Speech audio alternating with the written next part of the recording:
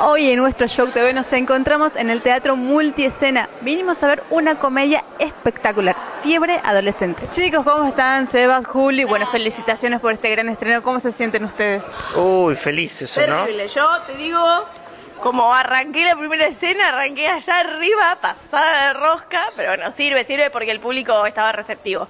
Así que súper agradecida. A vos. Sí, ¿no? Con- contentos con, con el resultado, la gente vino dispuesta a reírse, se rió mucho y eso es lo importante de esta comedia Fiebre Adolescente, que la gente lo viene a pasar bien. Claro que sí. Cuéntenme un poquito. Yo ya la vi a la obra, me encantó. Bueno, muchas felicidades por eso.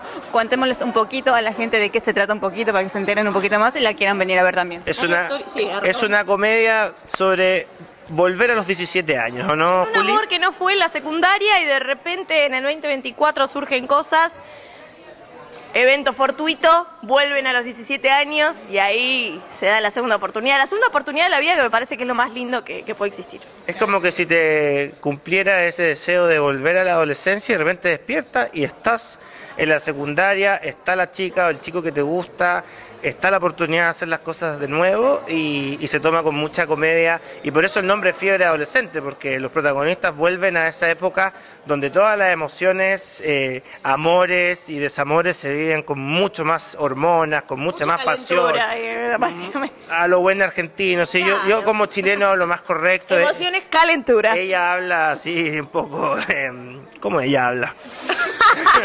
Yo hablo así, calentura, ahí sí, fiebre adolescente, recordás Sí. como la- las hormonas. Pero, pero para todo espectador. para todos para espectadores, sí, más espectadores. 13 me parece por la Sí, más 13, pero estamos todos los domingos de julio acá en el Teatro Multiescenas a la 1. Excelente, chicos. Bueno, muchas felicidades y creo que esta hora la rompe mal. Así que, bueno, un gran éxito para ustedes. Ojalá Gracias. que tenga mucha vida esta obra. Va a tener entonces. vida, larga vida, fiebre adolescente.